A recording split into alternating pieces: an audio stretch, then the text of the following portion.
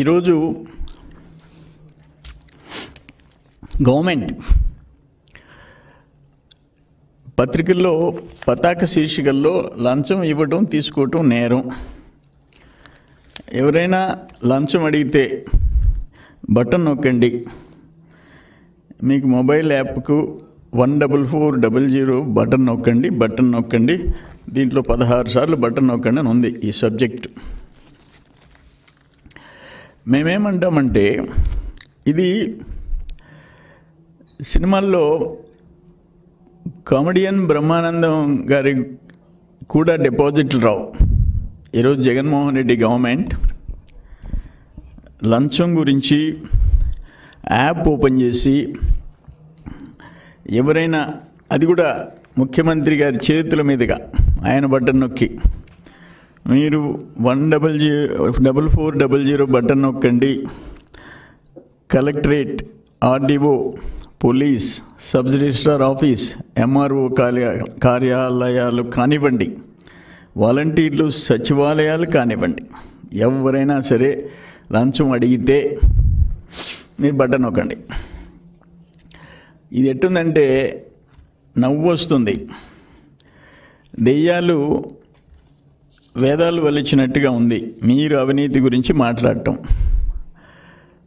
నేనేమంటానంటే ఇవన్నీ బాగానే ఉన్నాయి కలెక్టరేట్లు ఆర్డీఓలు పోలీసులు ఎంఆర్ఓలు సబ్ రిజిస్ట్రార్లకి డిపాజిట్లు రాని పరిస్థితి ఈ ప్రభుత్వంలో. అధికార పార్టీ ఎమ్మెల్యేలు ఎంపీలు మంత్రులు.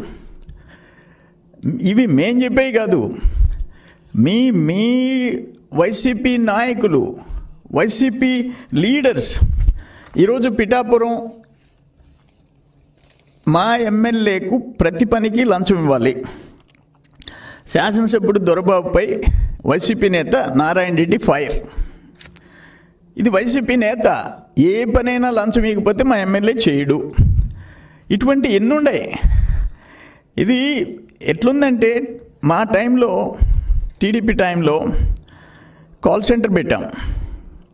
ఈ యాప్ ఏసీబీ ఎసిబికి ఆల్రెడీ ఎవరైనా ఎప్పుడైనా కంప్లైంట్ చేయొచ్చు. ఇప్పుడు మీరేదో ప్రత్యేకంగా మీ మూడు సంవత్సరాలు భారీ అవినీతి అక్రమాల మీద డ్యామేజ్ అయిపోయింది గవర్నమెంట్ ప్రజలు మిమ్మల్ని తిట్టుకుంటున్నారు.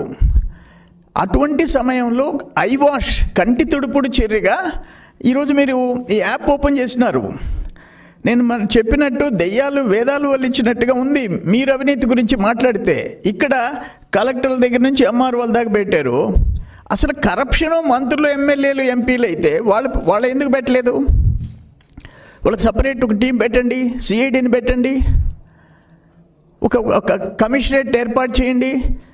ఈ ఈ చరిత్ర ఈ రాష్ట్ర చరిత్రలో ఈ త్రీ ఇయర్స్లో ముఖ్యమంత్రి దగ్గర నుంచి మంత్రుల దగ్గర నుంచి మీరు చేసే కరప్షన్ గతంలో ఎప్పుడన్నా మామూలుగా అవినీతి అనేది కేంద్రం నుంచి కింద దాకా ఉంటాయి ఎక్కడో ఒక దగ్గర.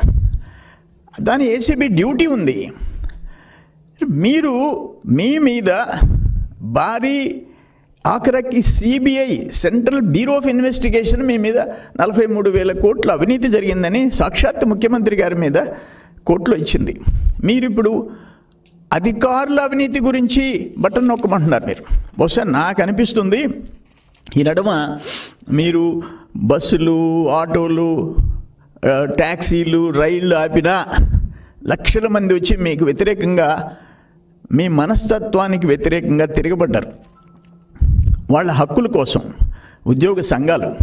బహుశా అది వాళ్ళ మీద ఆల్రెడీ ఏసీబీ ఎవరైనా సరే ఏ నిమిషమైనా కంప్లైంట్ మీరేం కొత్త కాదు ఇది? ఏసీబీని కొత్తగా మీరు స్థాపించారా? మీరు స్టార్ట్ చేశారా?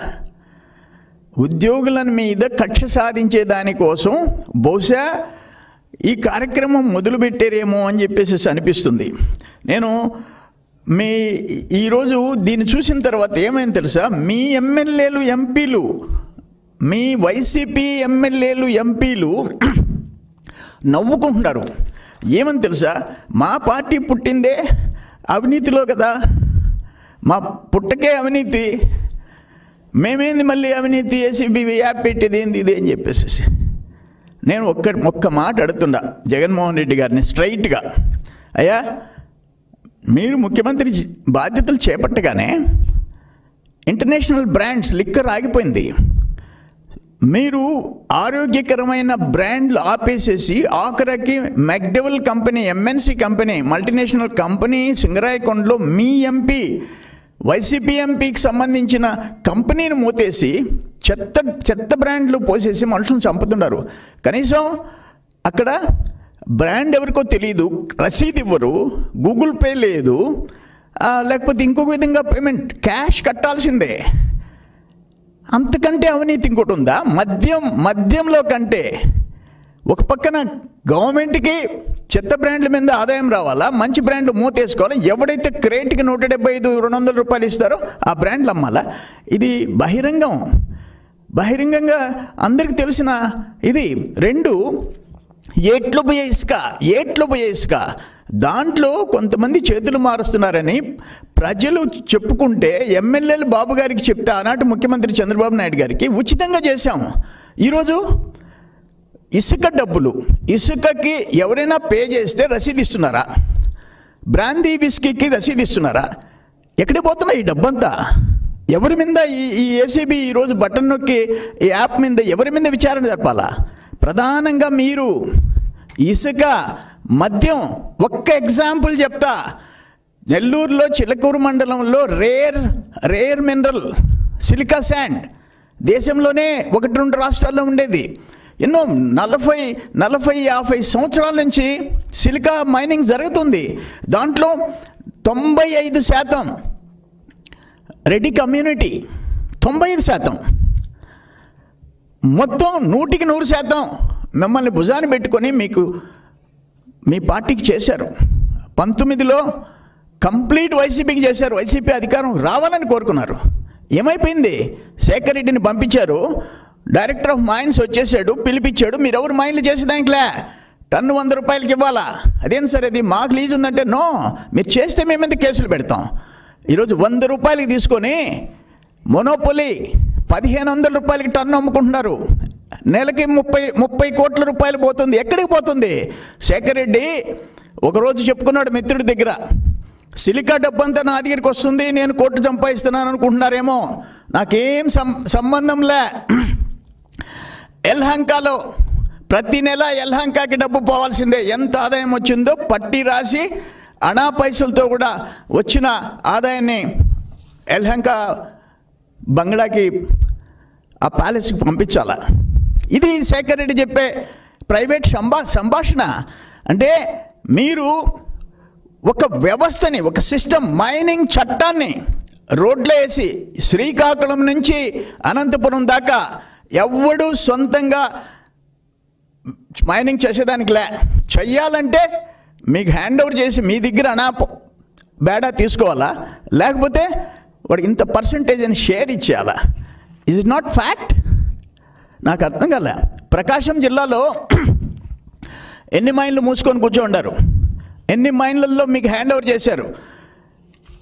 ఈరోజు పెద్దిరెడ్డి రామచంద్రారెడ్డి గారి కుమారుడు మిథున్ రెడ్డి ఆధ్వర్యంలో రాష్ట్రంలో గనుల శాఖ గనుల శాఖ భారీ కుంభకోణానికి పాల్పడుతుంది.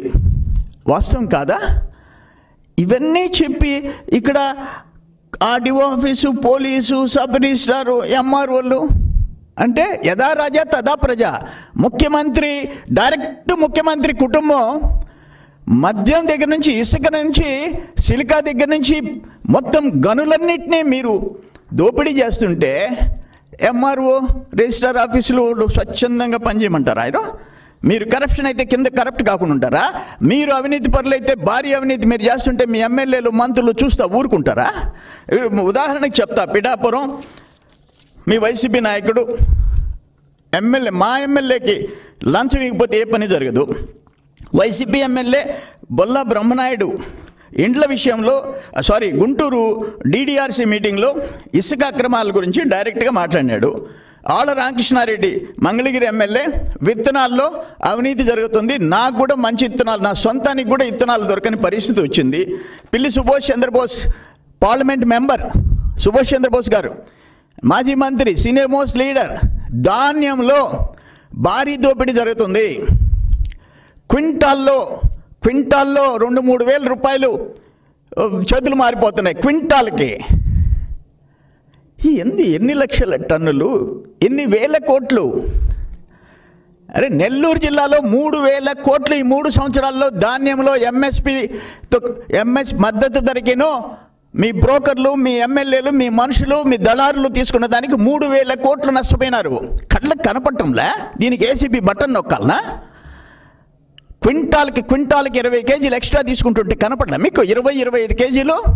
ఒక్కరి మీద యాక్షన్ తీసుకున్నారా? మీరు ఒక్కరి మీద? ఏం చేస్తుంది? మీ civil supplies department collectorate revenue దా డైరెక్ట్ దోపిడేయా? ఈ గవర్నమెంట్లో ప్రభుత్వం చేసే అవినీతి అక్రమాలయ్యా? ప్రభుత్వ దోపిడీ. విశాఖలో భూకుంభకోణంలో పాల్గొన్నారు. ఈ ఎమ్మెల్యేలు ఎక్కువైపోయింది.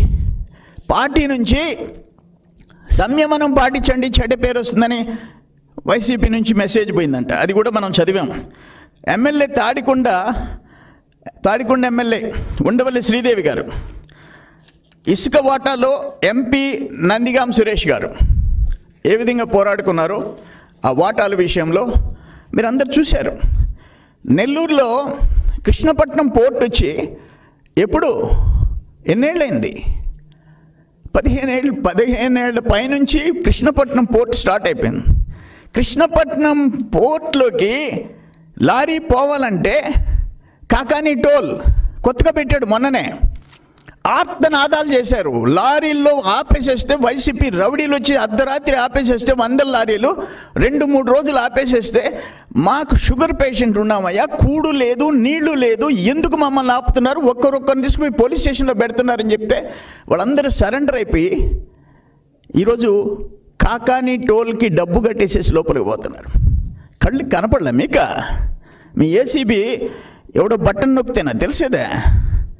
ఇంత బహిరంగ దోపిడీలు మీకు కనపడకపోతే మీ డిపార్ట్మెంట్లు ఏం చేస్తున్నాయి? గుమ్మనూరు జయరాం గారు బెంచ్ కార్ అంటే ఇప్పుడు ఆయన గుర్తుకొస్తారు. ఏం చేశారు మీరు యాక్షన్? అంతెందుకే? గుడివాడలో ఒక మంత్రి భారీగా ఆ గోవాలో ఉండే క్యాజినోని తీసుకొచ్చి ఇక్కడ పెడితే దానికి బట్టన్ నొక్కాలా? జగన్మోహన్ రెడ్డి గారు నేను ఒకటే అంటుండా మీరు అంత పెద్ద ఎత్తున నూట యాభై ఒక్క సీట్తో నేను మిమ్మల్ని కుర్రోడు రాజశేఖర రెడ్డి కొడుకని ఆడు కూర్చోబెడితే వ్యవస్థల్ని సర్వనాశనం చేసే హక్కు మీకు ఎవరిచ్చారు ఎందుకు ఈ పరిస్థితికి దిగజారారు?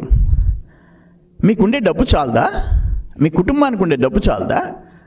సో మీరు కరప్ట్ చేస్తున్నారు కాబట్టి మీ ఎమ్మెల్యేలని గాలికి వదిలేస్తారా రోడ్ల మీద బజార్లో? ఒక్కొక్క ఎమ్మెల్యే వందల కోట్లు వేల కోట్లు సంపాదిస్తారా మంత్రులు ఎమ్మెల్యేలు? ఇది కరెక్ట్ కాదు ఇది. అందుకే నేనేం చెప్ మేమేం చెప్తున్నామంటే ఈ యాప్లో పోనీటి పెట్టారు మేము స్వాగతిస్తాం. యాప్ రావటం కరెక్టే కానీ ఆల్రెడీ ఏసీబీ ఉందయ్యా. ఏసీబీ మీరు పుట్టక ముందు నుంచి ఉంది. ఇప్పుడు ఏసీబీకి బటన్ నొక్కమంటున్నారు. అది మాత్రం అధికారుల మీద మాత్రమేనంట. ఇన్ని బహిరంగంగా మీ వాళ్ళ మీద ఆరోపణలు వస్తే దానికి లేదంట. నెల్లూరులో గోవా బ్రాండ్ వచ్చింది. నెల్లూరులో గోవా బ్రాండు. ఏమైంది? దాని వెనక ఎవరుండారో ఇప్పుడు యాక్షన్ తీసుకున్నారా? లేదే? అందుకని ఫైనల్గా మేము ఒకటే అడిగేది. ఇదేం కొత్త కాదు. ఏ రోజుకి ఆ రోజు ఈ యాప్కి ఏం ఫిర్యాదులు వచ్చినాయో బయట పెట్టండి. నెలకు ఒకసారి యాక్షన్ టిక్ టేకన్ రిపోర్ట్ బయట పెట్టండి. ముందు ఆల్రెడీ ఓపెన్గా పత్రికల్లో మీడియాలో వైసీపీ ఎమ్మెల్యేలు మంత్రుల మీద వచ్చిన ఆరోపణల మీద విచారణ జరిపించండి. ఒక స్పెషల్ టీం తయారు చేయండి. మీరు సిఐడిలు ఏం చేస్తున్నాయి అసలు అర్థం కావటంలే. చేయండి. రెండు ఇంకొక డిమాండ్. ప్రజాప్రతినిధుల మీద ఉండే కేసులు. మీ గవర్నమెంట్.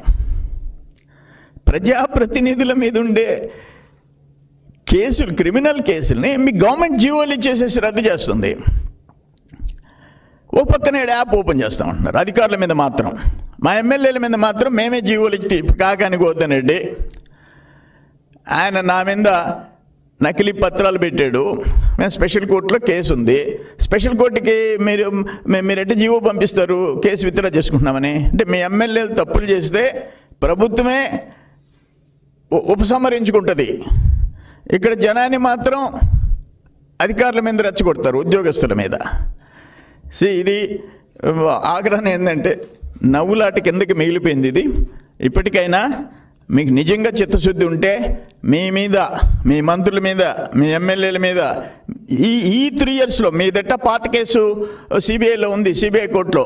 ఈ త్రీ ఇయర్స్లో మీ మీద మేము అడిగిన స్ట్రైట్ క్వశ్చన్ మద్యం ఇసుక మైనింగ్ ఈ మూడిటి మీద మీరు సమాధానం చెప్పండి.